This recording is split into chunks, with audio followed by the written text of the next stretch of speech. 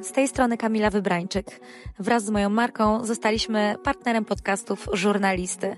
I z tego miejsca chciałabym Wam życzyć miłego odsłuchu oraz zaprosić Was na moją stronę bajkamilawybrańczyk.com, gdzie znajdziecie mnóstwo moich produktów. Dajcie się zabrać w świat fascynujących zapachów tworzonych z pasji i miłości do perfum. Dzień dobry. Zanim zacznie się nasza rozmowa, chciałem Wam podziękować, że tak licznie byliście ze mną przez cały 2023 rok, bo to dzięki Wam zostałem najczęściej odtwarzanym podcastem w Polsce na platformie Spotify. Bardzo, bardzo i to bardzo Wam dziękuję. Dzień dobry Państwu. Rozmowy żurnalisty są przeznaczone dla osób pełnoletnich ze względu na występującą w nich treść. Pozdrawiam, Czesław Mozil. Żurnalista. Rozmowy bez kompromisów. Wieloletnie doświadczenie światowej klasy czasomierzy. Bezpieczeństwo i prestiż na najwyższym poziomie. Royal Watch. Polecam Mateusz Borek. Dzisiaj u mnie Monika Hoffman-Piszora. Dzień dobry. Dzień dobry. Mam taki fragment książki do zacytowania na sam początek. Kiedyś, no, kiedyś nocowali u nas. Artur siedział załamany na podłodze pod ścianą i powtarzał, że nie chce już śpać. Że nie chce już brać chwilę. Że już nie będzie. Siedzieliśmy razem. Lukas, Renatka, Artur i ja. Z godziny na godzinę robiło się coraz trudniej. W pewnym momencie Artur zaczął się pocić. Strząsł się i wił na podłodze. Nie wiedziałem, co mam robić.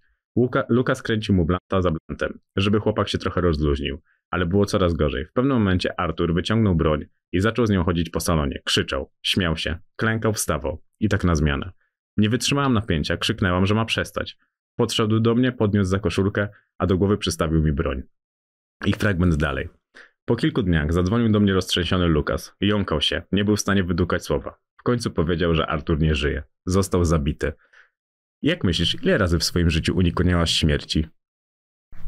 Ja myślę, że wiele. Ja myślę, że wiele razy, no. I jak to na to tak spojrzysz, w swoim życiu miałeś dużo szczęścia? Bardzo. A to jest takie szczęście w nieszczęściu? Nie. Ale jednak te sytuacje, do których, do których popychało cię życie jednak, były takie powiedzmy nieszczęśliwe, ale w tym nieszczęśliwych sytuacjach miałeś jednak bardzo dużo szczęścia. No, no wiesz, no nieszczęśliwe w sensie takim, no, odnosząc się teraz do tej mhm. sytuacji z Arturem, to ja wtedy wcale nie myślałam o tym, że to jest jakieś nieszczęście, prawda? No wydarzyła się taka sytuacja, bo... No Artur był człowiekiem jakim był i no był bardzo impulsywny i z tą bronią no tak y, po prostu się stało, ale ja bym tego w ogóle nie nazwała, że y, ja miałam w tamtym momencie jakieś nieszczęście, no po prostu wiesz emocje, no nie? Ale mhm. szczęście miała, że jednak za ten spust nie pociągnął, nie? Mhm. A szczególnie kiedy masz gościa, który jest rozdygotany. Tak nie panuje nad emocjami. Tak. I, I wiesz, i to, i tak sobie myślałem o tym, że jeżeli mówią coś o nas ludzie, którzy nas otaczają, to co ci mówili o tobie? Którzy? Tamci? Ci, tak. Renata, Lukas, Artur. No i ogólnie, jak przewija się przez ten fragment książki, bo książka kończy się tam, gdzie zaczyna się, gdzie zaczyna się blok. Jak spojrzysz sobie na tych wszystkich ludzi, to co oni mówią o tobie? No, że jestem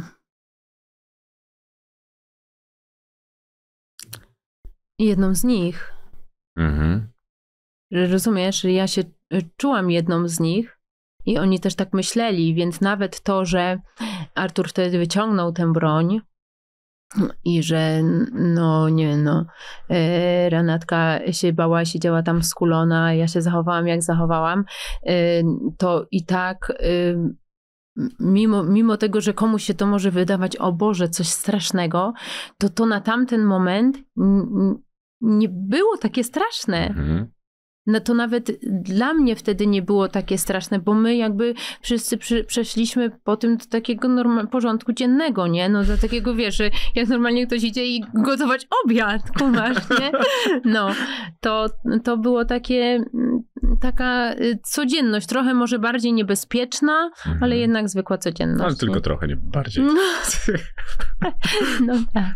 Patrząc no. na to, że powiedzmy, że masz dzisiaj życie jak z bajki, to czy, o czym jest morał twojego życia? Że każdy może mieć życie jak z bajki. A dlaczego, dlaczego myślisz, że każdy? Bo jednak w tym wszystkim, znaczy, bo to jest... Ja uważam, że wszystko to jest de decyzja. I tak samo jak Mhm. w tej książce miałam wiele takich momentów, w którym wydawało mi się, że już ja pierdzielę, no już dalej nie pociągnę. No nie? Mhm. E, albo że wiem, nie wiem, no, że jest coś mnie przerasta, to jednak tę decyzję podejmowałam, ok, wstaję, podnoszę się, robię dalej. No właśnie, to jest coś takiego, że to mnie najbardziej w tej książce tak zafascynowało, wiesz? Ja nawet zastanawiałem się, ile razy zaczynałaś od nowa. O, jedno mnóstwo, ale ja tak mam, że ja to kocham. Ja to kocham Mhm. i ja tak robię nawet do tej pory. Że za każdym razem jak sobie mówię, że dobra, no mnie coś przerasta, to sobie wiecie, ciebie? Co ty? Wstawaj, rób. Rozumiesz, ja to, ja to bardzo, bardzo lubię i to mnie codziennie kształtuje. Mhm. A to ile miałaś żyć, jakbyśmy mieli policzyć? Oj, nie wiem, nigdy tego nie liczyłam, ale to by było ciekawe. Ja zawsze mówię, że jestem jak mój ojciec. Jestem No tak. niezniszczalna. tak. No. To jest No. akurat, to jest akurat prawda, Tak. że jesteś, jesteś niezniszczalna, ale powiedziałeś, że dopiero teraz, gdy mam 37 lat, zaczynam doceniać wszystko, co wydarzyło się w moim Mhm. życiu. Które lekcje były najtrudniejsze? Tutaj jest, jest trochę do, wyby- do wybrania. Co było najtrudniejsze w twoim życiu? Y, Myślę, że najtrudniejsze było to, żeby pokochać siebie i pokochać siebie w całości, czyli tego, całą tą moją drogę, którą przeszłam. Mhm. Że wiadomo, że były jakieś no, y, rzeczy w przeszłości, które były trudne, ale nie były dla mnie jakoś takie e, emocjonalnie wstydliwe. Mhm. Rozumiesz, nie? No, że się, że okej, no to, że Artur mi przystawił broń do głowy, no to było trudne, ale ja się tego nie wstydziłam. Mhm. No ale Nie? czekaj, czekaj, bo coś ostatnio co- coś gdzieś powiedziałaś, albo ja coś gdzieś wyłapałem ostatnio, że w naszej rozmowie powiedziałeś, że wstydziłaś się w niektórych momentów ze względu na to, że kogoś skrzywdziłaś. Tak, to prawda. Dlatego mówię o tych emocjach. Ale były też takie momenty, w których kogoś skrzywdziłam, bo na przykład nie zrobiłam czegoś dobrego, nie pomogłam tej Mhm. osobie, a mogłabym jej pomóc, nie? Y, No i to. ym, To, y, no i poza tym, no ale to wszystko wiąże się z jakimś takim wstydem i z takim brakiem wiary w siebie i y, no dlatego no musiał nadejść ten czas takiego, wiesz, wybaczenia sobie, że no dobra, no na tamten czas nie miałaś takich zasobów, żeby to zrobić. Mhm. A kogo w swoim odczuciu zraniłaś, kiedy sama błądziłaś? No, y, wiele osób, na przykład, nie wiem, ym, moją siostrę, która tak nie uważa, ale ja Mhm. wiem, że tak. No, mm, Ale w tej książce ja miałem takie wrażenie, Mhm. że ty nawiązujesz trochę, że ona była tak zapatrzona w ciebie, Tak. że w pewnym momencie dokładnie tak samo zbłądziła jak ty. tak. I to, i, i, to był, i, I to była moja wina. Mhm. Ja to tak odbieram. Ona nie, oczywiście, ale ja to tak odbieram. No nie, bo Mhm. ja mogłam jej pokazać inną drogę. Ja mogłam ją y, przed tym wszystkim ustrzec i tak dalej, nie? A ja jakby jeszcze doszło do tego, że wiesz, no, pogłębiłam w niej to, nie? Ta wasza relacja jest... Ale my jesteśmy teraz najlepsze siostry. No. Bardzo ją serdecznie pozdrawiam, szczególnie, że pamiętam, co mówiła przed pierwszym podcastem. E, ale gdybyś spróbowała zrozumieć, dlaczego taka jesteś i jaka byłaś, to co cię uformowało? Dzieciństwo. No i co w tym dzieciństwie cię uformowało? Co cię stworzyło taką? No, my- mówię, no to cała parentyfikacja, to, że bardzo szybko musiałam dorosnąć, Mhm. to, że bardzo szybko musiałam wziąć sprawy w swoje ręce, to, że przede wszystkim najważniejsze jest to, to, że ja sobie wkręciłam, to znaczy ja, żeby przetrwać jako ja, yy, no, yy, wymyśliłam sobie, że muszę być silna. Mhm. I to mi dodawało to, że ja sobie wymyśliłam, że muszę być silna, to to mi dodawało tej siły i to mi dodawało takiej, wiesz, odwagi w ogóle do życia, no nie? Mhm. No ale to uważasz, że siła długoterminowo wykazywana w dzieciństwie jest zła, czyli że najle- jak naj- najlepiej jest jak najdłużej być dzieckiem? No ja nie mogłam być, no ja miałam krótki czas na to, żeby Mhm. tym dzieckiem być. No wiem, ale tak, tak sobie po prostu teraz gdybam oczywiście. No tak, mam- tylko że dla mnie m, potem każde okazanie słabości przeze mnie lub przez innych było, wiesz, niefajne. Mhm. A ja nie mogę oczekiwać od innych, że wszyscy będą robić, że będą tacy jak ja, albo że ja nigdy nie powiem, że nie wiem, że mi jest smutno, że się poddam, że nie daję rady i tak dalej, że ja muszę być, umieć okazywać słabość, a ja tego nie umiałam przez kupę lat. Mhm. Nie umiałam po prostu okazywać słabości. Ja tą słabością gardziłam, nie? No tak, tak. Dość mocno wskazujesz to też w książce i taką kobiecością się rzeczy, no i też Tak, dlatego po prostu tak. byłaś chłopczycą, no bo to do tego też tam e, nawiązywałaś. A to, że byłaś bita jako dziecko zostawiło jakikolwiek ślad? Mm, No myślę, że ślad, no ja to sobie już wszystko przepracowałam Yy, i no... No nie, yy, nie, ale wiesz, bo chodzi o to właśnie Tak. nieprzepracowany fragment. Czy to na przykład miało wpływ na te wybory, które, co wszystko działo się później w twojej książce? Tak. Wszystko, absolutnie wszystko, co przeszłam w dzieciństwie, miało wpływ na to, jaka byłam później. I powoli, i to w tej książce też jest ten proces, że powoli ja to przepracowywałam i dalej potem jeszcze, no już wiadomo, że ta książka kończy się na jakimś tam fragment, mm -hmm. etapie mojego życia, dalej to przepracowywałam i teraz też niektóre rzeczy przepracowuję. Dopiero na przykład niedawno odkryłam i to było dla mnie odkrycie, jedno z największych odkryć życia, że ja przechodziłam cały czas traumę po, y, tak jak jest trauma po mm, żałoba, o żałobę mhm. po y, stracie bliskiej ci osoby. Może być żałoba po y, stracie y, dziecka, bo rodzi ci się na przykład mhm. niepełnosprawne, a ty miałeś nadzieję, że to dziecko będzie zdrowe. No nie? I ja miałam, i też bardzo często o tym mówię, że ja mam słabość do ludzi słabych, chorych, mhm. niepełnosprawnych, odrzuconych, alkoholików i tak dalej, że ja czuję z nimi więź. Tylko, że ta, i wydawało mi się, że to jest fajne, że to jest spoko, nie? Że bo, wiesz, bo ja jestem dla nich miła, ja jestem fajna, ja im pomogę w każdej sytuacji. Tylko, że ta pomoc y, im y, wychodziła z mojej traumy, z mojego, y, z mojej żałoby, bo ja nie potrafiłam, bo ja byłam jak taka... Wyobraź sobie taką szaloną mamę, która traci na przykład, nie wiem, w jakimś wypadku swoje wymarzone, powiedzmy, trzyletnie dziecko. Mhm. No nie?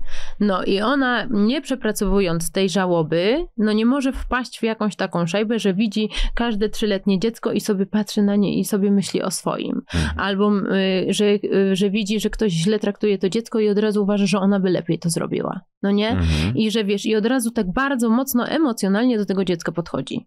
No nie? Mhm. No i że wiesz, że najchętniej to by zagarnęła i nie puściła.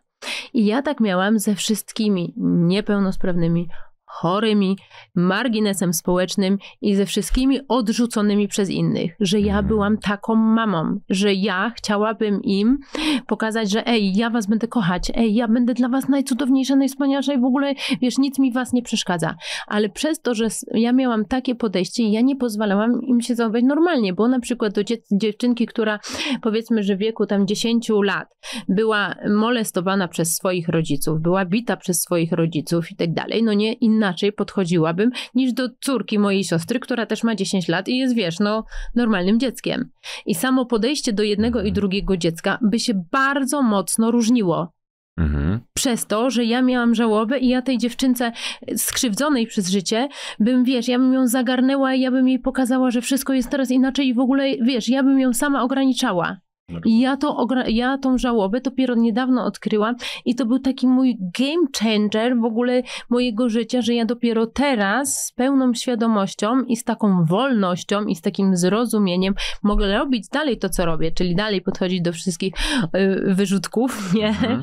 I y, niepełnosprawnych i w ogóle no niechcianych, no nie? Dalej mogę pochodzić w ten sposób, tylko dalej z miłością, i z otwartością. Nie, teraz dopiero z otwartością, bo dopiero teraz widzę w nim nie tylko tą krzywdę, mhm. ale w widzę w nim normalnego człowieka. I teraz mogę tak samo rozmawiać z tą dziewczynką, jak z córką mojej siostry. Okej, okay, czyli nie zamykasz pod kloszem. Nie.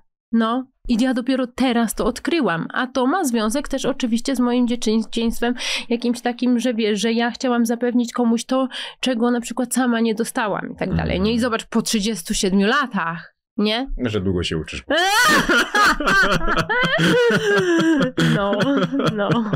Ale bo ta, bo ta mm. książka pokazuje cały, cały zarys tej twojej osobowości, tego domu też, że jak ta historia, że tata przeżył śmierć kliniczną, kiedy miał wypadek, wyniósł mnóstwo pieniędzy, których nigdy nie odnaleziono. -hmm. Twoja mama razem z przyjacielem rodziny próbowała odnaleźć lekarza, który w karetce stwierdził zgon taty, ale się nigdy nie udało. Pozdrawiam go Prze serdecznie. Przeprowadził się za granicę i słuch e, po nim zaginął. Tak. I też to, że do pewnego momentu życia, no, którego raczej nie pamiętasz, albo możesz mieć tylko flashbacki, byliście bogaci, mhm. a potem byliście raczej bardzo biedni. Bardzo, no. I bieda czegoś uczy? No tak. Czego uczy? Yy, wie, no wiesz, bieda... Yy wszystko zależy od przeżywania tej biedy i tego, jak cię rodzice uczą mhm. przeżywać tą biedę. No nie, bo ja byłam dzieckiem, więc ja uczyłam się przeżywać biedę tak mi, jak mi ją rodzice pokazali. Mhm. No, to, no, no to jak? Każdy to, może, czego uczy takie wiesz, przeżywanie biedy? No, mnie nauczyło tego, że pierwszy milion trzeba ukraść. To Że- czyli, czyli jak ten lekarz. No tak, no i widzisz, no i rozumiesz o co chodzi, nie? Mhm. No, że, że to jest niefajne, bo to wszystko zależy od tego, kogo masz w otoczeniu, bo są ludzie, którzy na przykład, no nie wiem, byli biedni, tak jak my Mhm. biedni, byli ludzie, którzy są biedniejsi, one inaczej no, y, podchodzą, y, to wszystko zależy od dorosłości drugiego i tego, tego tak zwanego dorosłego Mhm. człowieka, nie? No dobra, ale a może bieda czegoś uczy? No nie wiem.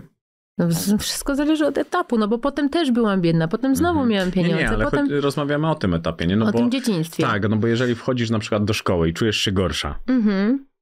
no to chyba głównym, na pewno kiedy masz materialnie jesteś zasypana, Tak. To nawet e, powiedzmy, że To prozaicznie... jesteś tak, tak, nie wiem, wydaje ci się, że jesteś pewniejsza siebie, No ale tak, wcale tak, tak. nie jest. No No jasne, są bogaci, którzy nie są pewni siebie, Tak, nie? tak, tak, ale, Ale masz to jest dużo tylko- większy tak. atrybut tego, że możesz czuć się lepiej akceptowalnym przez środowisko, co po ale, prostu cię buduje. ale dzięki, y, nie w środku, Tak, tak, no jasne, tylko tak. zewnętrznie. Tak, ale daje ci to pewnego rodzaju siłę. Maskę tak, kolejną. Maskę, maskę ale No. też równocześnie siłę. To wolałabyś mieć pieniądze i mieć tą maskę, czy nie mieć pieniędzy i nie mieć tej maski i ubierać tą maskę, którą Ale ja sobie zaczęłaś ubierać? założyłam inną maskę. No właśnie, no ale teraz pytanie jest, która, wiesz, Dla mnie nie do ma maski. znaczenia. ale- Dla mnie to nie ma znaczenia. Pewnie Mhm. kiedyś myślała, wolałabym być bogatsza, albo wolałabym być, nie być z rodziny wielodzietnej, no nie w sensie, że Mhm. też myślałam, że jestem adoptowana, albo wolałabym nie mieć e, ojca, na przykład być dalej biedna, ale mieć ojca pełnosprawnego, Mhm. no nie, albo mm, no nie wiem, tych albo mogło być tysiące, albo na przykład być biedna, ale mieć większy dom, bo my mieliśmy Mhm. dwa pokoje, nie? Rozumiesz? Mama, piątka dzieci i tata w drugim pokoju. No to wiesz, y, mogłabym, nie, mogłabym mieć większy dom, na przykład, no nie wiem, też stary jakiś, nie wiem, no niefajny, ale mieć swój pokój. No to Mhm. wtedy też już bym się czuła lepsza. A nawet jakbym była biedniejsza. No tak, ale tutaj specjalnie wrzuciłem to ze względu na to, że to jest teoretyzowanie, które było realne. W sensie takim, że mieliście kasę, Ja nie znałam mieć- za bardzo jakichś ludzi w tamtym czasie, którzy byliby jakoś tak super bogaci, chyba że w telewizji, ani nic takiego Mhm. nie myślałam o tym. To nie było jakby dla mnie priorytetem.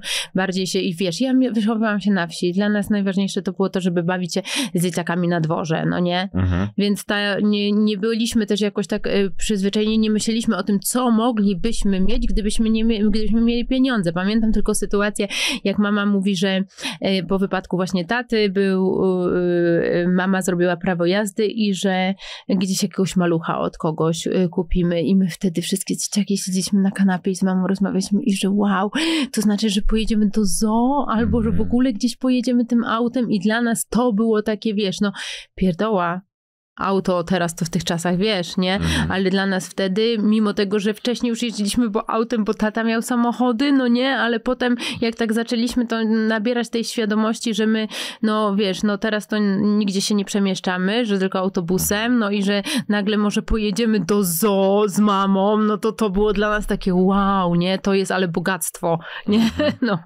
No, to jeszcze wracając do tej, do tej szkoły, bo tam powiedziałeś, że czułaś się gorsza. Kiedy ostatni raz miałaś takie poczucie, że czułaś się gorsza? Oj, dawno nie miałam. No, to fajne. Mhm. Dawno nie miałam, no. A jakbyś miała tak chociaż pomyśleć, naprawdę przywołać sobie coś. Mm, To być może, no myślę, że jeszcze przed dziećmi jakoś krótko może. em, Hmm.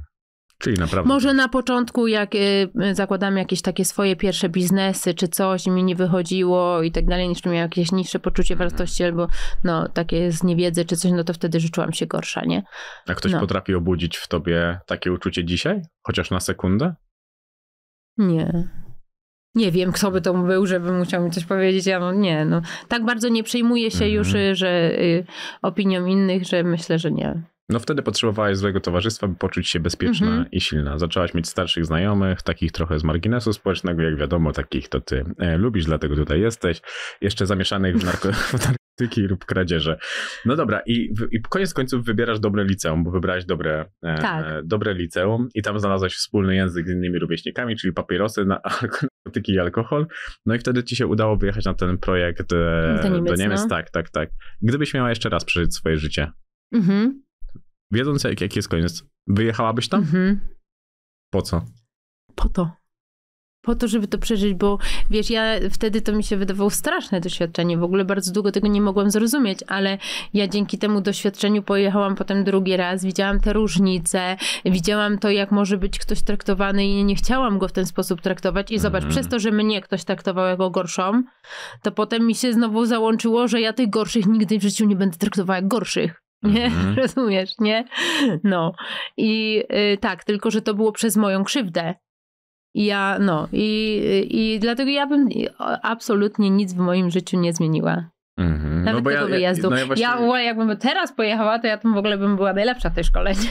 ale, ale nadal, nadal nie rozumiesz, dlaczego czułaś się tak niezrozumiana, bo to bije z tej książki, że jakbym miał powiedzieć, że gdzieś czujesz się niesprawiedliwie potraktowana, tam. to tam. To prawda, to tam, to tam, no.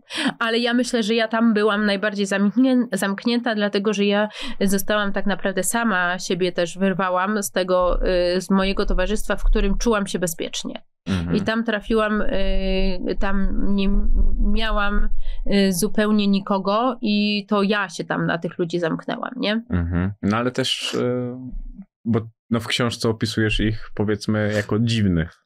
No, No. tak, no, no to było dziwne, Także no ale... też no, zamknęłaś się na nich, ale no to raczej chyba nie ze względu takiego, że zamykam się i nie chcę nikogo poznać. Nie, raczej... ale zamykam się, nie chcę nikogo poznać, to tak było pewnie bardziej w podświadomości, a nawet jeżeli kogoś chciałam poznać, to robiłam to z takim dużym dystansem i z takim, że pff, to nie jest mi potrzebne, Mhm. nie?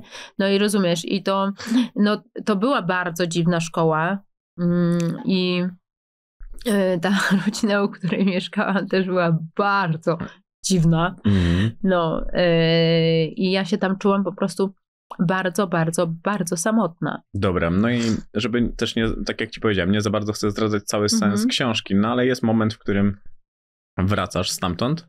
To jest moment, w którym czułaś największe zrozumienie od swojej mamy w swoim życiu?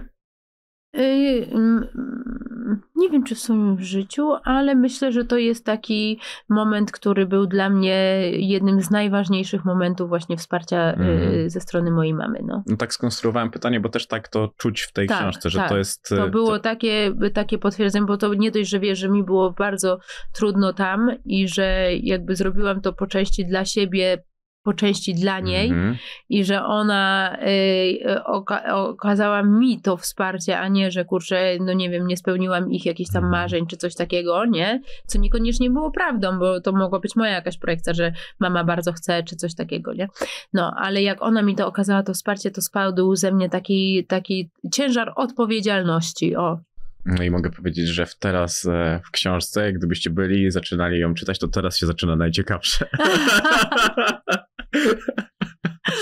o, mamo. Wracasz do Polski, e, tam masz ten problem, że musisz robić dwa lata w rok, tak i Mhm. że dyrektor mówi, żeś po prostu zaliczyła to w swoim zakresie. Dyrektor Mhm. zresztą chyba musiał cię bardzo, e, bardzo lubić, że na to ci A to nie wiem, jak to się stało w ogóle, bo mnie, wiesz, ja byłam tym tylko rok i nawet Mhm. no, to była duża szkoła, więc No ale nie wiem, czy on mnie pamiętał. ale tak, zawsze dobrze się tak. uczyłaś, także to, to mógł być też po prostu Mhm. taki zakres, no bo gdybyś była takim przeciętnym uczniem, powiedzmy, który zdaje tylko z klasy do klasy i nic więcej, no to może wiedziałby, że nic dźwignie, a jednak byłaś uczennicą piątkową, taką powyżej średnia, powyżej piątki, no to No jednak... w liceum już nie, nie? No tak, tak, ale No, jednak no całą, no tak. tak, jak wtedy się dostawałaś chociażby Tak. do tego liceum, no to musi, no i nawet dostanie się do tego liceum z tego, co mu po prostu napisać w książce nie było najprostszą e, rzeczą. No ale miałaś 17 lat, pierwszy, wziąłeś, pierwszy raz wziąłeś fetę. Pamiętasz uczucie, jakie jest e, pierwszy raz, kiedy się bierze twarde narkotyki? Ty, że, że jest inaczej niż się myśli, że jest. Mhm. Ale to jest coś takiego jak pierwszy seks? Nie, to jest inna, inny, bo ja myślałam, że po tym jest taki, że nagle poczuję taki odjazd jak w filmie, że albo nie będę wiedziała, co się dzieje Mhm. i tak dalej, a ja się po prostu dużo lepiej bawiłam, nie?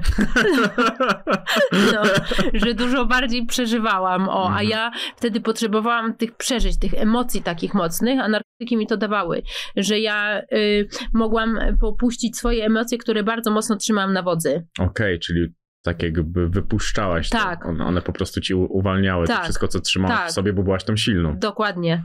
No Dobra, to- i dlatego to ja, dlatego ja to bardzo uspra- usprawiedliwiam. W sensie rozumiem y, no, mechanizm działania tego, dlaczego ja ćpałam, nie? Mhm, bo no, tu są bardzo, bardzo dobre zdania. Rano. Rano w szkole kreseczka, żeby wytrzymać na lekcjach. Pod wieczór już w domu druga, żeby nockę spędzić nad książkami. Tak, tak. I Tak słuchaj, było. brała mnie nie dlatego, że koniecznie chciałam e, nadrobić materiał, Mhm. który zostawiłam na ostatnią chwilę, a dlatego, że lubiłam ten stan. Tak. No ale to potwierdza to, co, to, co, to, co mówisz, Tak. nie? No bo, ale jak tu jesteśmy, patrząc na ciebie, to opowiedz mi o tej dziewczynie, bo to jest już zupełnie inna dziewczyna moim zdaniem, Mhm. Szukająca, Mhm. wyruszająca w dorosłą podróż, niż ta, która wychowywała się na tej wiosce. To już Mhm. jest dziewczyna, która chyba widzi jakiś świat, który zaczyna jej trochę imponować. Mhm, no tak. No Ale tak. to jest tak, jak był u mnie Maciek Kawulski z KSW, teraz zrobił też Mhm. pana Kleksa i powiedział, że on zawsze chciał mieć pieniądze za wszelką cenę, niezależnie Mhm. jak. U ciebie to też tak było, że ty po prostu chciałaś być szczęśliwa? Nie, bo ja myślę, jak? Nie, Ja myślę, że ja nie myślałam o tym, czy ja chcę być szczęśliwa, tylko że y, jedyny świat, który ja znałam, który był wtedy silny, Mhm. to był świat takich ludzi y, od narkotyków. Cie, ale w ogóle jak ta siła się zmieniła w takim wypadku, nie? No, że to byli tacy ludzie, że wiesz, że oni żyli na własną rękę, że wiesz, nie przejmowali się niczym, że y, no, i żeby taki spontan, dobra, no to co, to jedziemy gdzieś i tak dalej, że nie było czegoś, że nie było granic, Mhm. Y, a było bardzo dużo przeżyć, bardzo dużo takich emocji i mi się wydawało, że to jest taka wolność, takie wiesz, nie? No i y, tak, i dlatego y, ja wpadłam w to towarzystwo. Mhm. No bo później zdałaś maturę i pojechałaś do Niemiec na swoich warunkach. Tak. No i jak pojechałaś do Niemiec, to miałaś przerwę od narkotyków, chyba- Mhm. chyba pierwszą. Mhm. No i jak się żyje w takiej przerwie? No bo Ja w tej jestem książce, dziwnym, właśnie wiem. w tej książce jest taki morał z tego, że ty zawsze mówisz, że kończę dzięki. Ja tak, bo ja jestem takim dziwnym tworem, że ja tak robię. Dlatego mówię, że decyzja jest w głowie. Jak Mhm. postanowiłam, że paliłam paczkę, dwie paczki papierosów dziennie, jak postanowiłam, że od dzisiaj nie palę, to ja rzeczywiście nie paliłam, nie? Jak postanawiam, że ja, nie wiem, zacznę teraz y, ćwiczyć, i, y, no to idę ćwiczyć. Mhm. Rozumiesz, nie? Że no, nichu, ja jak powiem, że zrobię, to zrobię. I ja wtedy też tak miałam. Y, No, też prawda jest taka, że ja tam nikogo nie znałam, kto by, bo wyjechałam w zupełnie obce miejsce i mieszkałam, wiesz, u rodziny i nie Mhm. znałam nikogo, kto by tam dealował i skąd mogłabym kupić. I jakbym mogła, to bym kupiła. Mnie chociaż świadomość. No, no, ale jak nie miałam, to też nie miałam takiej potrzeby, żeby tego szukać. Yy, Poza tym ja brałam wtedy, mm, dlatego, no bo że lubiłam ten stan i dlatego, że potrzebowałam tych takich emocji, a będąc znowu w Niemczech, Mhm. będąc znowu sama i będąc znowu teraz już na własnych warunkach, teraz już jestem dorosła i tak dalej, ja miałam zupełnie inne, y, też miałam y, emocje i też bardzo wysokie, bardzo Mhm. y, dużo tych emocji różnych było, że ja już nie potrzebowałam siebie naładowywać czymś innym. Okej.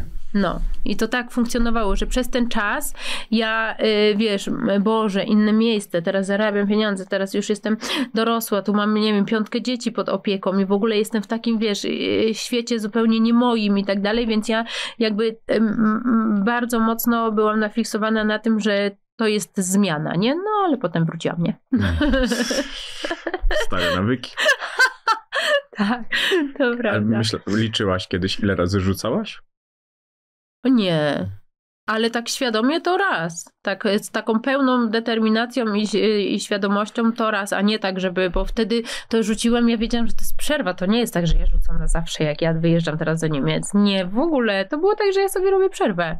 Okej. to- Że nie, że narkotyki są spoko, w ogóle to są spoko, nie? Wtedy był taki czas, nie? Tylko, że teraz no, nie, nie mam tej potrzeby, żeby ćpać. To nie ćpam.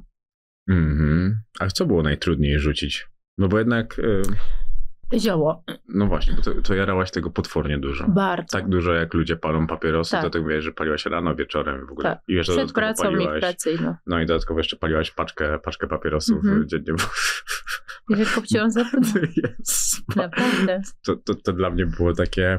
Znaczy tak, rozmawialiśmy po, naszej pierwszej, po naszym pierwszym podcaście, więc ja miałem jakiś background do tej książki, nie? No. E, ja wchodziłem w tę książkę i jak kiedy wysyłałem mm, ją do Sylwii, która też przygotowuje mi researche, pytałem się Sylwii, bo ona czytała to pierwsza, ja mówię, ciekawe, czy miała odwagę napisać wszystko, nie? E, wszystko, o czym rozmawialiśmy, rozmawialiśmy później i to było dla mnie takie ciekawe, czy, czy naprawdę jest to wszystko, o czym, o czym rozmawialiśmy. I zastanawiało mnie w ogóle, czy ty, jak na siebie patrzysz, to był taki moment, w którym można było cię nazwać narkomanką albo ćpunką? Tak. I który to był moment? To był moment tego czasu z Arturem i Mhm. no. No bo w tej książce nawet się przewija heroina. Aha. No i, jak to w ogóle, bo musisz mi uspo- nigdy w życiu, ja widziałem dużo narkotyków wśród innych ludzi, ale nigdy nie widziałem, jak ktoś bierze heroinę. Co się dzieje w twojej głowie? To nie jest tak, że wtedy zapala się taka lampka i sobie myślisz, kurde, jestem fajna, jestem fajna, naprawdę jestem mądra, bo to myślę, że cały czas ci przyświecało w tej głowie, że jednak jesteś całkiem mądra. Naprawdę mam potencjał. Ale ta, ta, no a to już tak. jest trochę za daleko. Jestem mądra, dlatego że mi to ludzie mówili, ale ja sama w siebie nie wierzyłam, że jestem mądra. Mhm. No dobra, no to nadal nie masz wrażenia, że jak widzisz, że ktoś bierze heroinę, że to nie jest to miejsce, w którym ty powinnaś tutaj na pewno być? Że ja? Mhm. Nie. No ja, no, no dobra, no to Musisz od początku. nie. Y, hmm. Heroin brałam raz, mhm. nie? No. Y, I a raz dlatego, że mi się jakoś nie, po- nie spodobało specjalnie, bo ja y, straciłam całkowicie kontrolę nad Mhm. sobą.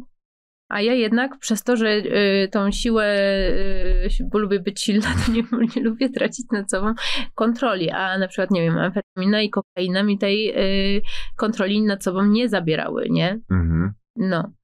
E, Więc y, myślę, że dlatego y, w tą heroinę nie weszłam. To Dzięki jest- Bogu. Dzięki Bogu, no. Y, Znaczy i samej, i, samej, i samej sobie, ale Tak. no i dobra, piszesz takie zdanie, nie? I jak bardzo trzęsą ci się ręce, jak piszesz to i zastanawiasz się, czy to opublikować. No bo jednak jesteś matką. Wzorem matek. 300 ponad tysięcy obserwujących na, na Instagramie. Nie boisz się, że cię zabiją, kiedy coś takiego piszesz? O tej heroinie? Mhm. Nie, nie, dlatego że ja mm, pisząc tą książkę mm, do samego końca nie wiedziałam, czy ja ją opublikuję. Mhm. I wiedziałam, że jeżeli nie będę pisała tego, co czuję i tego, co myślę, to ja jej nie napiszę.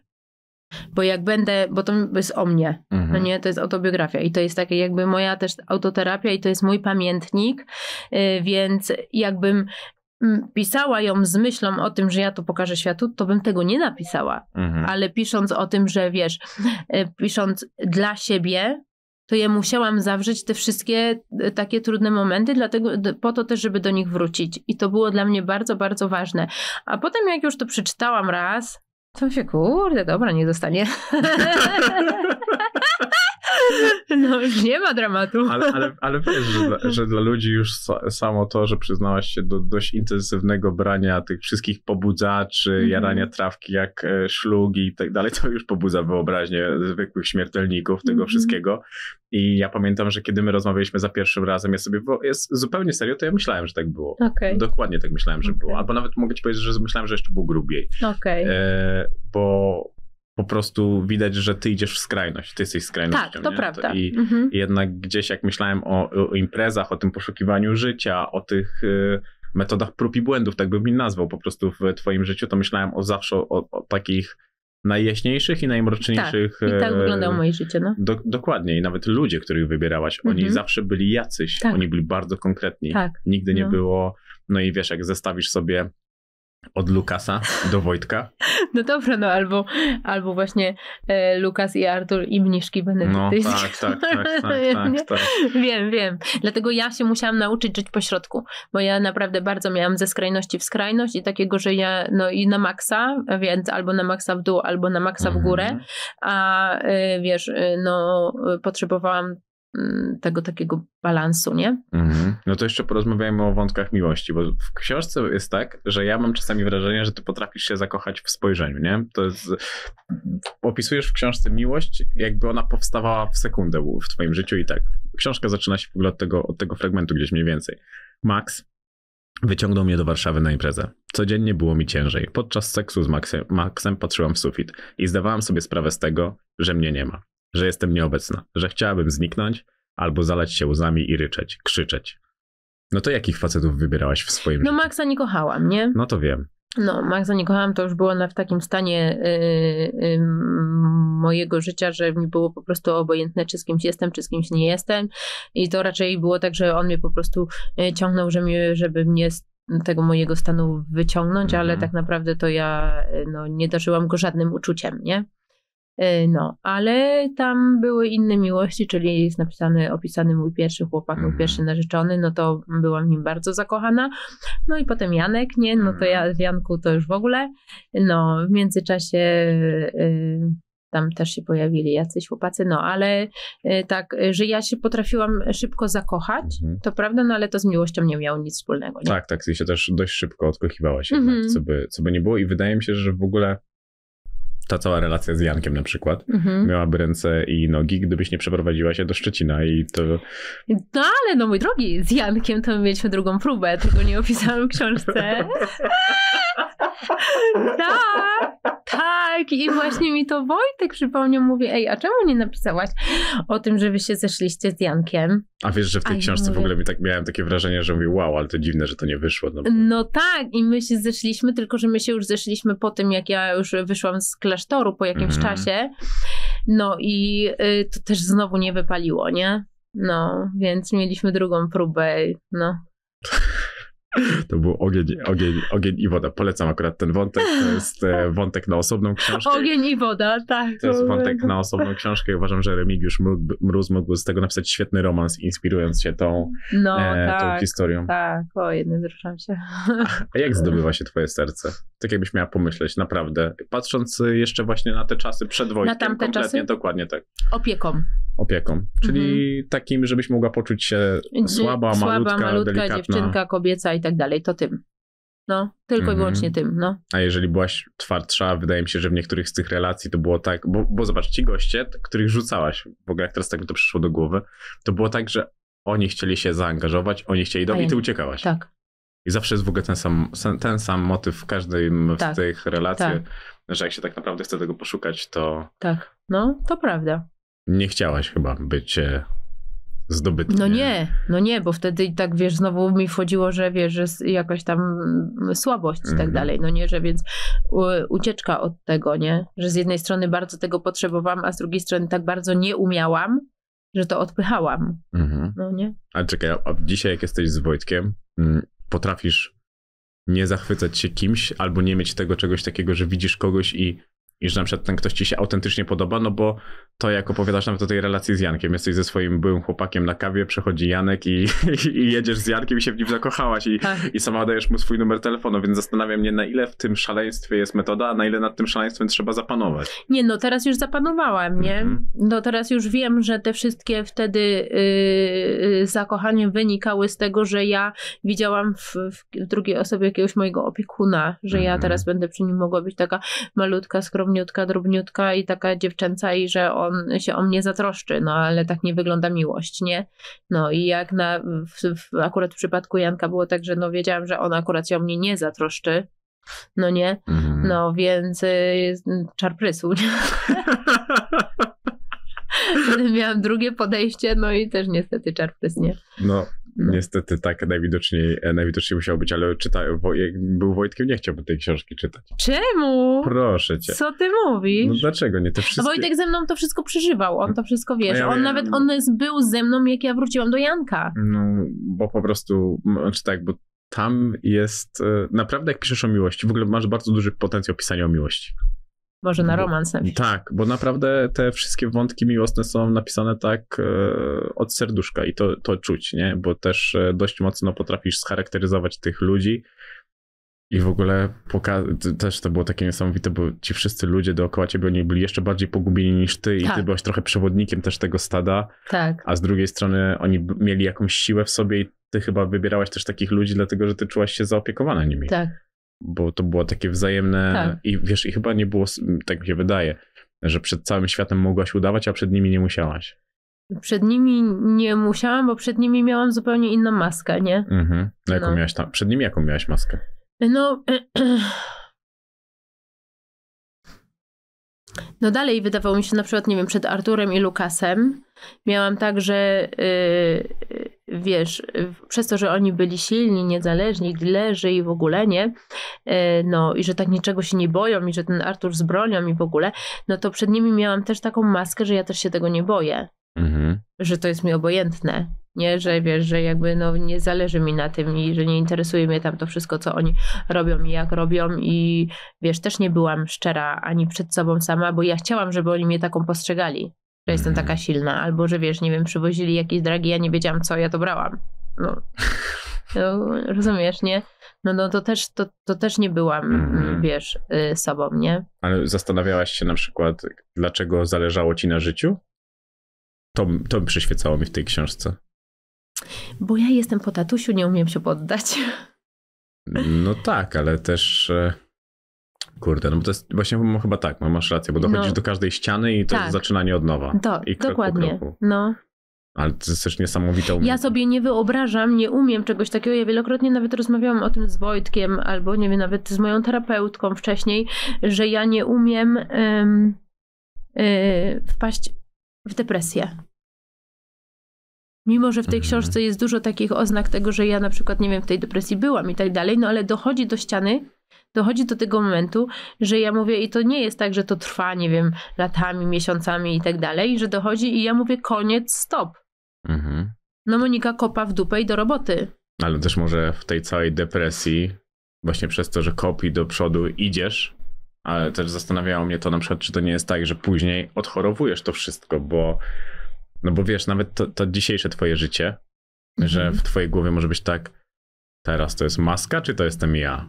Nie, ja teraz, o Jezu, ja mam takiego psika na punkcie analizy własnego Mhm. wnętrza teraz, że ja wszystko, nad wszystkim się zastanawiam, czy to jestem ja, czy to jestem ja. Mhm. Nad wszystkim. Absolutnie. To, co ja mówię, to, co ja robię i jak podchodzę do życia i tak dalej, to się zastanawiam, czy to jest przez jakieś moje utarte schematy, czy to jest dlatego, że ja na przykład, no, że wiesz, że cały czas uczę się tego balansu, więc ja bardzo mocno to analizuję, żeby już tych masek na siebie nie nakładać i że, żeby na przykład w każdym towarzystwie zachowywać się tak samo.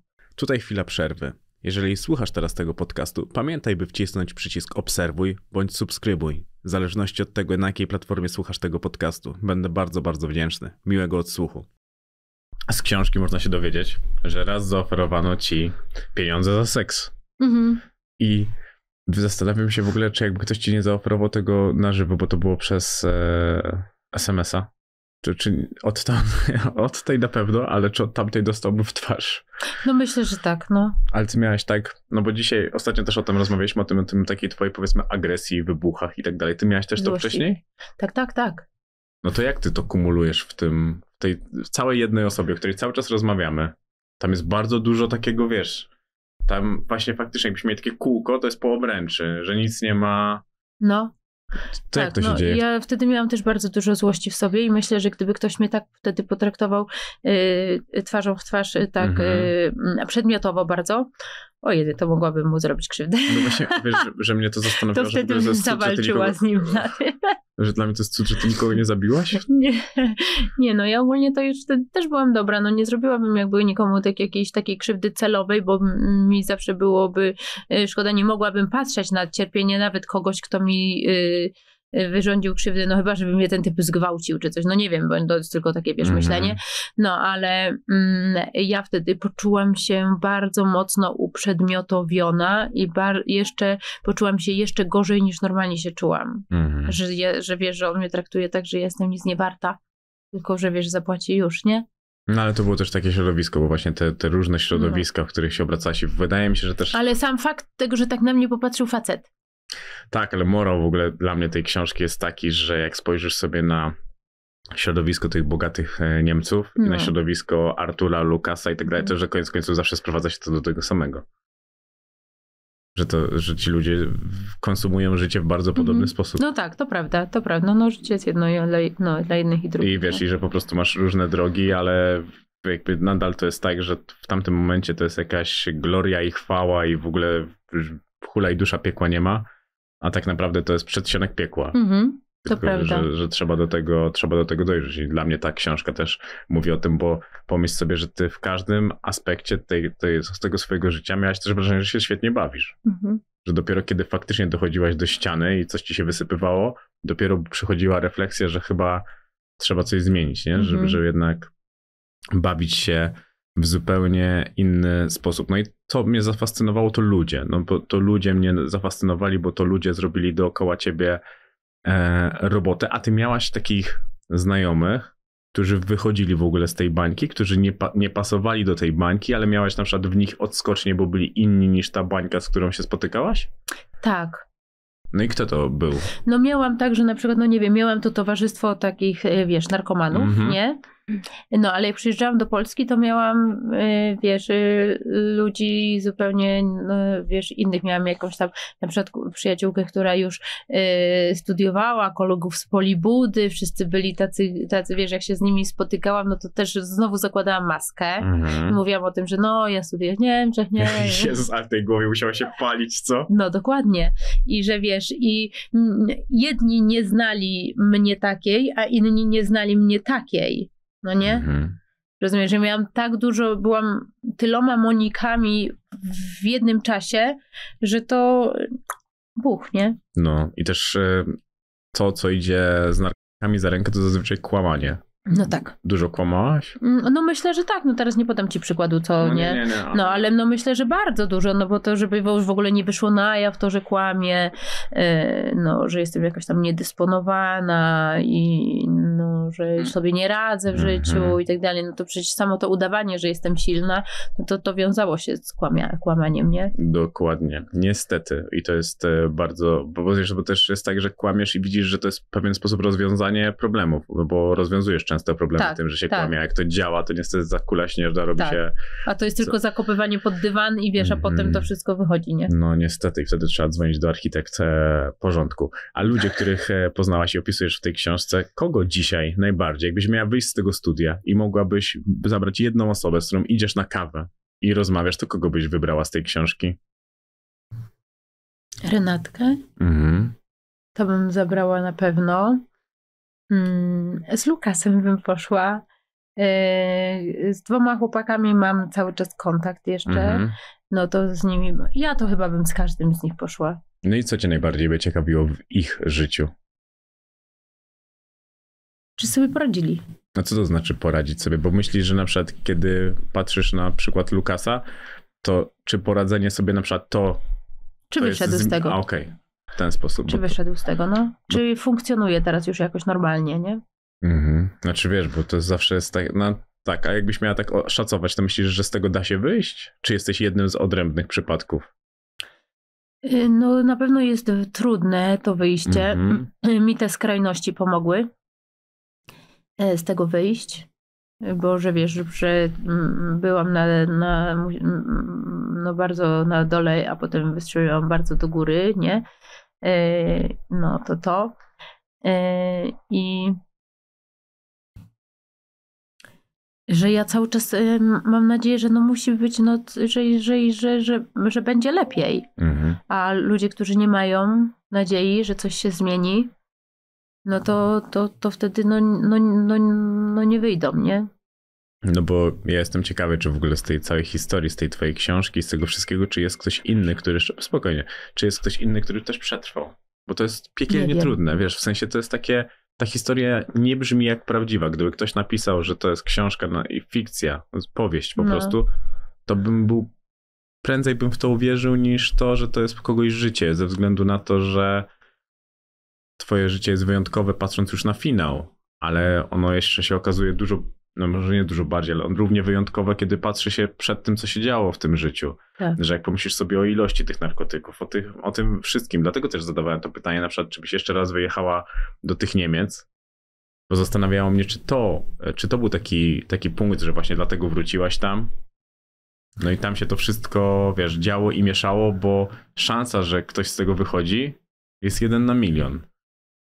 No tak, no bo nawet wiesz, teraz znam ludzi, którzy, czy, czy tam z tego wcześniejszego mojego okresu ćpania, y, którzy no nie wyszli, czy tam czasem nawet mijam niektórych takich dalekich Mhm. znajomych, którzy mieliśmy po prostu wspólnych znajomych od ćpania, no i widzę, nie, że im się nie udało, nie? No, No. Bo, bo dla mnie to jest też e, morał tej, tej książki, że, że okej, dał, udało się, wysz, nie, robisz tego, ale jest to tak niebezpieczne, dlatego dla Tak. mnie to jest po prostu jak powieść w niektórych momentach, ze względu na to, że jeżeli w ogóle uwalniasz emocje narkotykami i czujesz Tak. się powiedzmy wolna od swoich emocji, no wiesz, nie możesz niczego lepszego w swoim życiu zrobić, żeby się uwolnić od swoich emocji. Tak, tylko że z drugiej strony jest tak, że ja zawsze chciałam być kimś, Mhm. ale nie wiedziałam, co to znaczy być kimś. I zostałaś Więc- sobą. Tak, więc ja nie chciałam być na dnie, Mhm. bo mimo tego, że ja to wszystko robiłam po to, żeby uwolnić te emocje, żeby poczuć się silna i w ogóle no te wszystkie jakieś tam psychologiczne gadki, nie? To ja y, zawsze miałam bardzo duże pragnienie bycia kimś. Więc ja nie mogłam sobie pozwolić na to, żeby odpłynąć w tych narkotykach i żeby w nich zostać. Mhm. Bo ja miałam tą chęć, żeby, wiesz, no, że to tak nie może być, że moje życie nie może się tak skończyć, rozumiesz, nie? No, A to jest bardzo dużo trzeźwego myślenia. tak. Nie No, ale zauważ, że ja też miałam, ja y, ćpałam, ale miałam pracę i jeszcze miałam bardzo odpowiedzialną pracę. Mhm. I że wiesz, tam się tak bardzo dużo różnych y, wątków mieszało, że ja no y, non-stop miałam na sobie jakieś maski. Non-stop wiesz, że z jednej strony było mi dobrze w tu, gdzie jestem, ale z drugiej strony było mi jeszcze lepiej, y, no na przykład w mojej pracy, bo tam miałam jakieś perspektywy, tam mia, miałam jakąś wizję i myślę, że to, że y, tych środowisk było tak dużo, Mhm. tak dużo różnych, no nie, y, a nie, że się trzymałam w jednym, to mi pozwoliło y, z tego, to dzięki temu ja z tego wyszłam. No bo dla mnie to właśnie była ta zagadka, dlatego też zadałem to pytanie o tym, e, czy miałeś inne, inne środowiska Mhm. i tak dalej, bo, bo tak właśnie dużo ty, tych wątków jest, tych takich, tych, takiej różnorodności, tego, tego wszystkiego, czego co Tak. ty dotykałaś, co ty robiłaś w życiu. Wiesz, jeszcze najlepsze jest to, że przebija nawet ta historia, kiedy udajesz e, dziewczynę tego jednego chłopaka, całujesz go i Tak, tak dalej. tak, Potem się no. ok- no, okazuje, e, że, też, że też miał swoją maskę. E, Tak. żeby nie spoilerować książki. Tak. I wiesz, że, że, że gdzieś tam ja cały czas właśnie widziałem w tobie dużo dobra, Tak, no bo właśnie, bo ja tak miałam że ono czas- przebijało. Tak, że ja mimo wszystko bardzo chciałam e, dobrze dla tych ludzi, nawet jak wiesz, e, e, z Lukasem i z nimi, to ja widziałam ich jakąś taką krzywdę i chciałam, żeby oni ze mną spędzali czas, bo z jednej strony ja czułam się silna, a z drugiej strony wiedziałam, że ja jakby trochę się nimi opiekuję. Mhm. No Nie. tak. No, A widziałaś też w nich dobro? tak, tak. No. A poznałaś kogoś, ko- w kim nie widziałaś dobra? A pomimo tego cię pociągał? Nie, poznałam tylko Achima, w którym nie widziałam dobra i mnie nie pociągnął. Bo twoje życie byłoby dużo wygodniejsze, gdyby, gdyby cię pociągał. Nie? Je on? Mhm. O Jezu, nie wiem. No Nie? gdyby mnie pociągał, no to co, co innego, no ale on nawet teraz wzbudza, wzbudza we mnie, wiesz, bo... Więc, więc nie, no. Ale on, i to co wczoraj pisaliśmy trochę na Instagramie i mówiłem, że tych wszystkich ludzi ty opisujesz pozytywnie, bo naprawdę da się, da się czuć sympatię do każdego, do każdego, kogo opisujesz w książce poza nim. No, poza nim, tak. I No. tam, e, tam z automatu jednak odczuwa się też. I wiesz, i ta książka, ona bardzo fajnie się plat- przeplata, że w niej język, e, powiedzmy, poniekąd wulgarny, że opowiadasz o dziewczynie, która idzie zrobić loda jakiemuś gościowi, że jest dużo takich ciekawych, e, ciekawych wątków i wydaje mi się, że że to jest pewnego rodzaju też dar do, do napisania takiej historii, nie? Że ona wciąga i że ja, ja byłem ciekawy, co jest na następnej stronie, że mm, gdzie, gdzie, gdzie jeszcze zaprowadzi mnie ta książka, nie? No bo dużo wątków wiedziałem przygotowując się, no bo też dużo po prostu było na twoim blogu swojego czasu e, i to było dla mnie ciekawe, nawet jak ta historia, wiesz, z tą filmą, z, tym, z tymi wszystkimi rzeczami, no ale nie chcę tego za bardzo, za bardzo powtarzać. Ale kiedy realnie pojawił się pomysł w twojej głowie, żeby napisać książkę? No ze dwa lata temu właśnie jak zaczęłam to pisać, ale to był taka, nie myśl, to nie może nawet nie był, że pomysł w mojej głowie, tylko to były takie sugestie Mhm. ludzi wokół, nie? Którzy wiesz, od czasu do czasu komuś właśnie opowiedziałam jakąś historię i o Boże Monika, musisz napisać książkę. Nie? Mhm.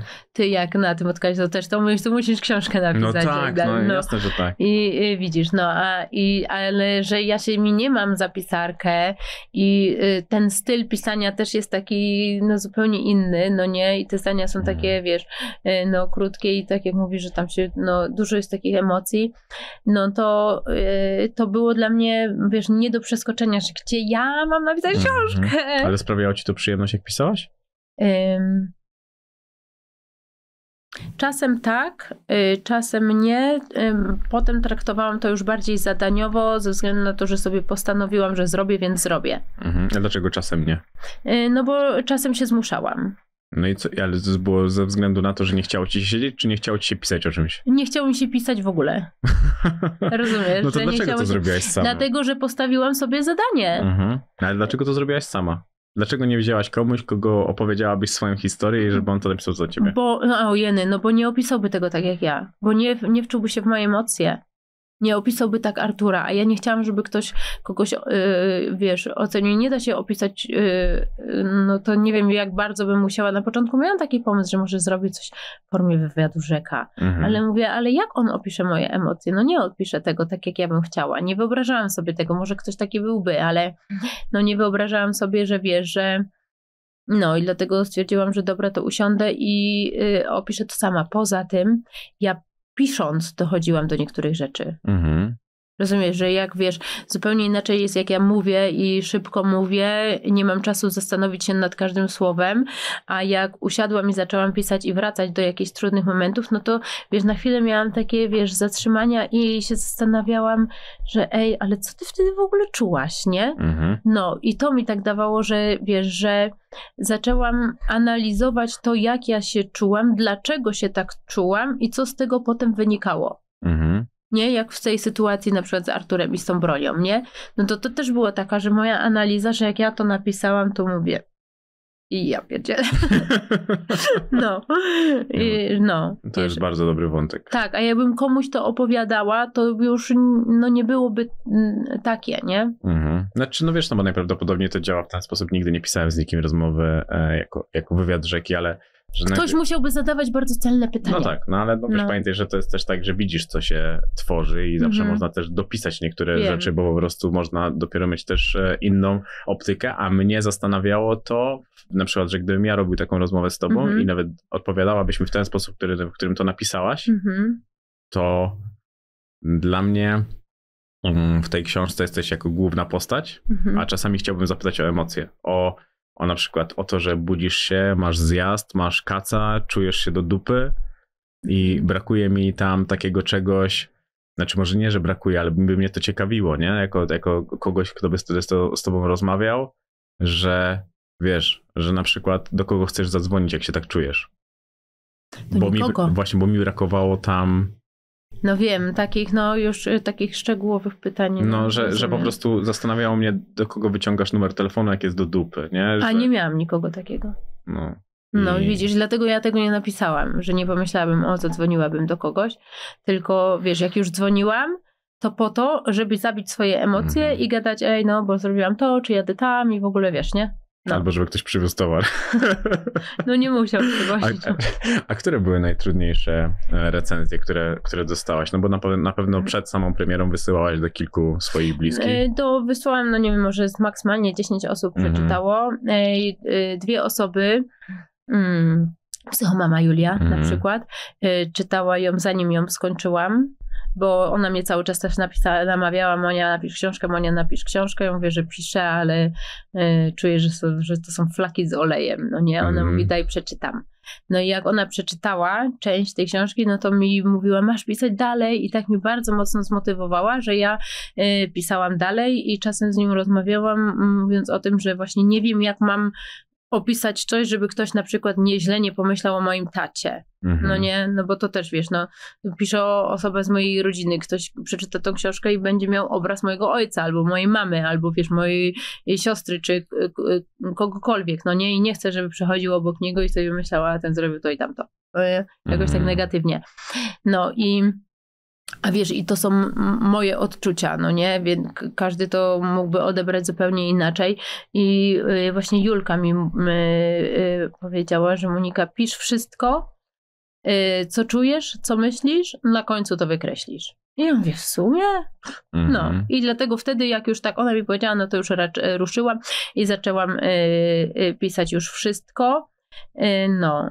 Y, bo na przykład taka pierdoła o tym biciu, Mhm. w dzieciństwie, no nie, to ja tego nie chciałam pisać. Bo sobie pomyślałam, że Boże, teraz nie wiem, no y, koleżanki, mamy czy taty, nie? Sobie pomyślałam, a ona biła, wiesz, oni bili dzieci. No ale na, tak. u nas na wsi to wszyscy bili, nie? No. No, ale wiesz, nie chciałam, żeby ktoś o nich y, tak pomyślał, no nie? Ale mówię, że dobra, jadę ze wszystkim, najwyżej usunę, nie? Mhm. No dobra, No. to mówisz o psychomamie, a kto jeszcze był w tych wśród Był tych jeszcze i psychomama, to też ze względu na to, że jest psychologiem i Mhm. nie chciałam tam mieć takich, wiesz, przez to, że tam jest dużo analizy, żeby nie było jakichś takich kocopołów psychologicznych, które nie mają odzwierciedlenia w rzeczy- w rzeczywistości. Y, Potem ze względu na to, że to jest, y, tam jest też o moim nawróceniu i y, o Bogu, no to poprosiłam mojego przyjaciela zakonnika, Mhm. tak, ojca Tomka, żeby to przeczytał, żeby tam nie było właśnie nic nie, no, no nie, niezgodnego z y, jakby wiarą naszą. Mhm. No i y, poprosiłam y, mm, trzy przyjaciółki, żeby to przeczytały, potem jeszcze taką jedną znajomą i w sumie z tych, a i moją terapeutkę Mhm. jeszcze poprosiłam, żeby to przeczytała. Y, no i każdy y, y, no, y, dotykał czegoś innego, nie? Mhm. No i Że- czego, czego na przykład dotykali? Bo to, to, mnie, to mnie zastanawiało na przykład, bo powiedziałaś mi to jeszcze przed rozmową, że No. każdy z tej książki miał coś innego. Tak jakbyś miała wymienić, to, to na przykład twoja terapeutka widziała co w tej książce? Że tą żabę, nie? Mhm. No, że, że jakby, że, że, że, że, mm, Że tego. dziecko nie ten, nie? No. Y, A no. przyjaciółki? e, przyjaciółki Patrycji na przykład brakowało e, takich opisów e, m, bardziej tego, jak wyglądałam, e, że jakby historia super Proszę i że no, w ogóle ja cały czas widziałem cały czas e, staliki koronkowe i sukienki i że widać ci pośladki i, i rozmawiasz z, tym. Także ja widziałem wszystko, ja mogę jej powiedzieć no, wiem, dobrze. no dobrze, no ale i tam na przykład to, że ja dzięki niej opisałam bardzo krótko, bo krótko, ale to rzeczywiście dodałam dzięki Patrycji to, jak wyglądałam wtedy w tego Sylwestra. Mhm. To było dzięki niej, więc sobie tą koronkę wyobrazisz Mm, dzięki Patrycji, Dziękuję nie? Patrycja. No, no, e, to tak. Ym, e, Jeszcze mm, e, przyjaciółka Agata no, zasugerowała mi, to też było fajne, żebym nie opisywała szczegółowo, jak radziłam sobie, jak już nie dawałam rady w- wciągać Mhm. kreseczek, e, no, żeby nie dać, e, żeby nie robić instrukcji e, obsługi ciężkich narkotyków w sytuacjach, w których już twój nos Mhm. sobie nie radzi, no nie, żebym nie pisała tego szczegółowo, bo jakby to nie, nie powinien być żaden poradnik d- dla narkomanów, nie? No, to to... em, Mm, Jedna znajoma, no to y, bardzo mocno y, mówiła, że Monia, że to jest za grube i że może lepiej tego nie wydawać i tak dalej, Mhm. no nie? Y, No i tak przez nią miałam taki moment, chwilę, że sobie myślałam, że kurde, że skoro ona tak zareagowała, w sumie też miała jakby trudne życie, no to może to rzeczywiście jest za grube, no nie? Ale każdy inny mówił, że nie, że wow, że super, że nie ma nic takiego strasznego. No bo to jest e, świetna historia do przeczytania, dużo gorsza do przeżycia. No tak, no. Tutaj nie ma w ogóle, nie ma dwóch zdań. No nagrywamy ten odcinek przed świętami. Jeżeli spełniają się marzenia, to ile ma sprzedać się tej książki? Ile bym chciała, żeby się Mhm. sprzedało tej książki? Oj, y, nie wiem, ile bym chciała. Ona się super sprzedaje teraz, ale chciałabym, żeby y, było tak, że kupią ją ludzie, którzy kompletnie nie wiedzą, kim jestem i nie będzie ich interesowało to, kim jestem. Kurde. Że będzie na przykład, dlatego ta książka tak wygląda, że nie ma tam okładki i Mhm. nie ma nic, nie? I że jak kiedyś gdzieś na przykład wyląduje w Empiku albo w innej księgarni, że ktoś będzie przechodził obok tej książki, to ją po prostu weźmie do ręki i że ją kupi. Mhm. I że ją przeczyta i że ona mu pomoże w jakiś sposób. To tak bym chciała. To, to jest moje marzenie, no. No dobra, a dlaczego nie wydałaś tego przez żadne duże wydawnictwo? Nie wiem, chciałam to zrobić sama. Wiedziałam, że Wojtek ma takie zaplecze, że mi pomoże, że wie, że no mamy kanał nie, Mhm. y, dystrybucji, że jakby nie potrzebuje y, y, no, wydawnictwa, no nie? I że jak będzie ta książka dobra, no to się obroni sama i że i tak ją sprzedam, nie? Mhm. Ale masz taki pomysł właśnie, żeby wyjść do jakiejś księgarni? Czy, czy... Tak, tak, jak już będzie wersja papierowa, to tak, no to bardzo bym chciała. Mhm. Ale to jest coś takiego, co. No bo tak, y, książka na razie jest, y, ta rozmowa wyjdzie 27 grudnia. To jest tak, że ta książka na razie jest w PDF-ie do, Tak. do stycznia, tak? W styczniu będzie wersja papierowa. Pod styczniu, koniec stycznia, A, początek okej. lutego, no. Czyli to, czyli to trochę, czyli trochę potrwa, czyli można powiedzieć, że pewnie najprawdopodobniej książka, jeżeli pojawi się w jakiejkolwiek księgarni, No to gdzieś w połowie lutego, na koniec lutego? No, no tak, no. Okay. Wiesz, ja nawet nie wiem na razie, jak się do jakiejś księgarni dostać. Okej, okay, no właśnie dlatego, dlatego... No nie, nie, nic nie wiem. Ja kompletnie nawet jeszcze o tym nie myślałam, że wiesz, że czy do kogo mam mm, napisać, odezwać, czy coś, żeby ta książka się w księgarniach pojawiła, no nie? Mhm. Że wiesz, że no na razie to po prostu wydałam i no cieszę się, że jest taki odbiór, że ona jest dobra, bo te, wtedy też ja, yy, wiesz, no jakbym napisała książkę i bym od razu do jakiejś księgarni, że ej, słuchajcie, napisałam książkę, mhm. no, e, że ona będzie super. No a e, no to no nie wiem tego, nie? Ja cały czas nie uważałam, że ona jest taka super, nie? Wystarczyło mi wysłać, ale to no. a kiedy ją skończyłaś? Um, no, y, no co, no miesiąc temu? Nawet nie? Okay. Czyli to tak dość sprawnie poszło od tak, tak skończenia tak, tak. napisania. Tak, no tak, pewnie jak była ja jakaś ją... korekta i... No tak, no korektorka, ją, ja jeszcze tam poprawiałam niektóre rzeczy, yy, no coś tam wycinałam, coś tam do, dopisywałam, jak na przykład to ten mhm. ubiór, nie? No i ona też to na, na bieżąco sprawdzała i tak, wiesz, od razu powstawał y, skład i no. Ale czekaj, bo, to, bo, bo ja widziałem, że tam jest jakaś... Strona, platforma, to, to jest Wojtka? Coś? To, tak. Okej, okay, dobra, bo to mnie też e, jakoś tak zastanawiało nad tym, jak to koniec końców e, zostało wydane, bo bałem się, że przypadkiem robisz to przez jakąś platformę, która... Nie, nie, nie, nie, nie. E, nie. Która sprzedaje książki innych influencerów i tak Nie, nie, to Wojtek właśnie, y, oni zadbali, cała firma y, zadbali o to y, takie zaplecze, żeby wiesz i no biorąc pod uwagę ilość obserwujących, jaką mhm. mam, żeby tam nie siadły te wszystkie serwery, tylko żeby każdy spokojnie, wiesz, mógł sobie wejść na tą stronę, dostać książkę, zamówić albo w wersji elektronicznej, albo w papierowej, mhm. E, no nie, i e, żeby to wszystko tak hulało bez jakichś takich problemów i stresów takich dodatkowych związanych z tym, no nie. No jak wiemy, no. twoja historia e, jest historią, że niebo nie jest limitem, to chciałabyś zekranizować swoją książkę? Tak, Chciałabym. O Jezu, jakbym chciała, chciałabym zobaczyć tą dziewczynę, która będzie to grała, no. Mhm. Ja bym bardzo chciała, bo ja bym, bo wiesz, bo mi zależy na tym, że zobacz, moja historia jest trudna. Mówimy o jakiejś tam narkomance, no nie, o różnych, która miała różne tam przeżycia, różne rzeczy w swoim życiu robiła, a y, z reguły y, ciężko się, y, ciężko. Um, no, widzisz taką dziewczynę na ulicy albo gdzieś tam w klubie i co? No, większość osób ją ocenia. Mhm. No nie, ocenia ją negatywnie. Skreśla nawet. Skreśla nawet, no nie. No i yy, yy, a ja nie chcę, żeby mhm. ktoś takie osoby skreślał, więc dlatego ta książka yy, no, mm, miała pokazać, że no każdy może i każdemu trzeba dać szansę i na każdego patrzeć nie tylko z tego perspektywy, co ty teraz widzisz, ale no bo nie widzisz całości. Nie widzisz, co spowodowało, że jest tu, gdzie jest. Mimo, że wystarczyłoby czasem tylko y, zauważyć, podać rękę i mm, pomóc, nie? Mhm, ale uważasz, że że dla ciebie receptą było zauważenie, podanie ręki i pomoc? Ja potrzebowałam tego bardzo dużo, no, no to kto ci, kiedy można było ci podać rękę i byś doceniła to, że ktoś ci podaje rękę i wyciąga cię na przykład do normalnego życia, do zwykłego życia? Ale to jest, wiele by się na, na to składało, bo każde spojrzenie wtedy, każdego człowieka yy, yy, nie z tego środowiska, mhm. tylko będącego powiedzmy wyżej, jeżeli, czyli normalnie pracującego, jakiejś zwykłej kobiety, matki nawet z wózkiem, no nie, mhm. która by spojrzała na mnie, nie oceniając mnie. Fotele w podcaście żurnalisty zapewnia Jumisu. Bo każdy, kto mnie w tamtym czasie traktował y, z takim tak zwanym szacunkiem, nie oceniając mhm. i y, będąc po prostu dla mnie y, dobrym, y, pomagał mi zobaczyć w siebie, w sobie mhm. y, normalnego człowieka. Ale też w ogóle bardzo mocno powiedziałaś, że że narkomankę, bo ja tak miałem. E... No bo to jakby taki punkt, taki wiesz, no, że. No wiesz, wiesz. no ale opisujesz tak, tak jak to było. Bo to jest, e, znaczy tak, bo ja nie byłem tam, ja widzę tylko to, co przeczytałem, nie? Ale nie myślałem o tobie kategoriach takiej powiedzmy menelicy. No nie, nie. No, no właśnie, takiej dziewczyny, która okej, okay, jest na wszystkich możliwych wspomagaczach, mhm. e, rozrywkowo i nierozrywkowo, no bo poniekąd na pewno to też jest jakieś uzależnienie, mhm. no bo mhm. na pewno, mhm. nie?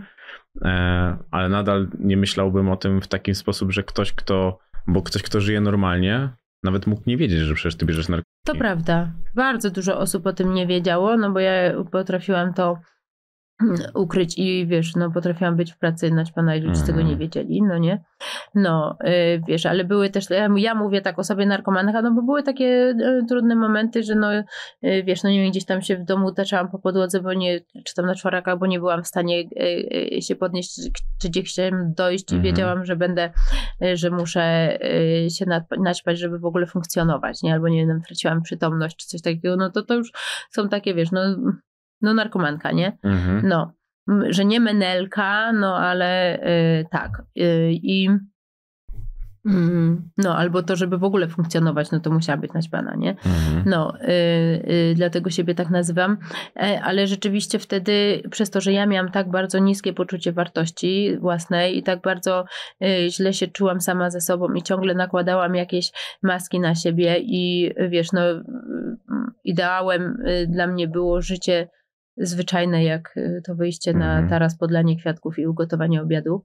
No nie, no to jak taka osoba na mnie spojrzała jak na normalnego człowieka, a nie, że mm, dobra, albo jakaś, nie wiem, no lalunia na imprezę, albo że wiesz, narkomanka, albo że w ogóle wiesz, nie? Mhm. No, no to mm, dałoby mi takie coś, że ona widzi we mnie kogoś, kim ja chciałabym być, no nie? Mhm. I dlatego ja tak mam, że ja tak właśnie bardzo staram się na takich ludzi patrzeć, nie? Okej, no bo to, to teraz po prostu też e, nabiera sensu, bo może tego mi w tej właśnie też książce trochę zabrakło, nie? No bo tam nie ma to za bardzo takich scen, że właśnie Mhm. jesteś na czworaka i No, no, no, no. no. że wiesz, że jednak mm, opisujesz się tam raczej jako taka osoba wysoko funkcjonująca po prostu z pewnego rodzaju No o, tak, uzależnieniem i że to mimo wszystko ta gra cały czas się toczy. Okej, raz jest więcej kasy, raz jest mniej kasy, ale to jest po prostu życie. To jest, Tak, tak, tak, no. wygląda mniej więcej e, dorosłe życie. Dostałaś dość szybką, dość szybką lekcję tego, tego dorosłego e, życia. No to to, to, to, to otwiera na pewno oczy. No to rozmawialiśmy o ekranizacji. Jak to mógłby ciebie zagrać? Nie wiem.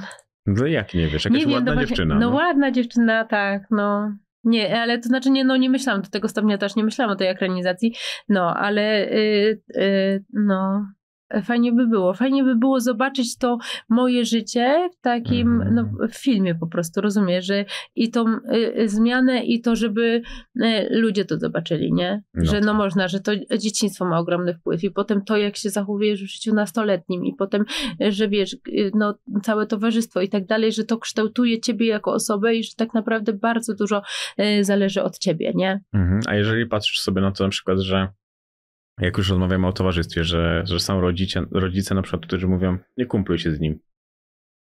No nieładnie mówią. No nieładnie, ale teraz pytanie jest takie, czy nie chronią dziecka. Chronią.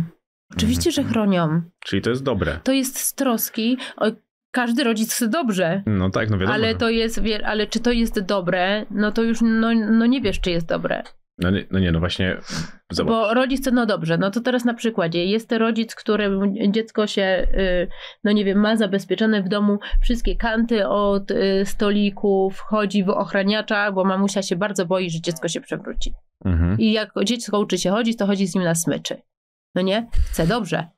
No dobra, ale tutaj jednak nawiązuję do tego, że jeżeli widzisz, że na przykład gdzieś skrajnie źle, to kiedy mówisz... To z troski, no dobra, no ale to trzeba być, najpierw ten rodzic musi być cholernie y, mm, dorosłym, dorosłym, Mhm.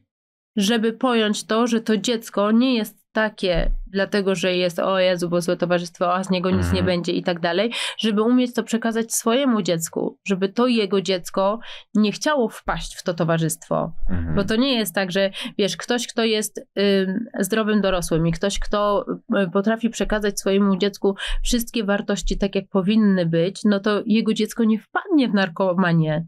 Mhm. Rozumiesz? znaczy, Jak najbardziej, bo w ogóle też... To e, jest z nie, no, niezaspokojonych potrzeb wszystko, Mhm. no nie? Ale jeżeli dziecko ma zaspokojone potrzeby, czuje się kochane, czuje się bezpieczne, czuje się dobrze y, y, y, w swojej rodzinie, czuje się ważny, silny, potrzebny, kochany, to nie ma potrzeby, wiesz, wpadania w złe towarzystwo. Mhm. Ale można powiedzieć, że ciebie macierzyństwa nauczyło twoje dzieciństwo? Że tak naprawdę chcesz zaoferować to, czego ty nie dostałaś i te, te błędy, gdzie ty popełniłaś i wiesz, że one wynikają z dzieciństwa, dlatego tak uważnie możesz patrzeć na swoje dzieci? Też i nie, Mhm. bo bardzo często jest tak, że rodzice, którzy mieli na przykład, nie wiem, ciężkie dzieciństwo, chcą albo nie mieli y, w domu pieniędzy, to chcą też dać teraz wszystko swoim Mhm. dzieciom. I robią zupełnie odwrotnie ale to też jest złe, dlatego ten balans jest potrzebny, no nie? A tego balansu nauczyłam się dopiero potem. Więc jak ja bym robiła wszystko tak, żeby nie było tak jak w moim domu, bo ja miałam trudne dzieciństwo, no to bym i tak robiła źle moim dzieciom. Mm, to jest bardzo trudna rola, Tak, żeby znaleźć taki balans. No Tak. dobrze, już zmierzając do, do końca. Książka najprawdopodobniej będzie zekranizowana, sprzeda się doskonale. Tutaj w ogóle nie mam żadnych, żadnych wątpliwości i naprawdę, naprawdę polecam, bo to jest świetne, świetne żeby się poczytać i, i pobawić. Dobrze, i na sam koniec już. Jak jest z tym programem, który miałaś robić? O Jeny, no widzisz, zacznę od nowego roku. No bo Naprawdę? tak, no bo to była książka, bo wiesz, no jeszcze teraz y, ta kwestia tej rodziny Mhm. zastępczej i tak dalej, bardzo dużo jeszcze w domu mieliśmy różnych rzeczy, więc no nie, nie, nie miałam jakby czasu, ale mam taki plan, no No bo to już miało chyba, wiem. miało nie ruszyć. wyszło, Tak, tak, tak. ale zacznę od nowa, no. I za to będę trzymał kciuki, także Dziękuję. W książka, ekranizacja, program, bizneswoman. Ej, a chcesz zagrać kogoś? Tak, ja zagram ciebie. Możesz Artura, Artura. Dzięki. Maxa zagra. O, no macie, macie podobną fryzurę, no. No świetnie. W takim No. wypadku e, zostaje mi e, Max, a ty będziesz się patrzyła w sobie. Bardzo, bardzo, bardzo i to bardzo ci dziękuję. Dziękuję. Dziękuję.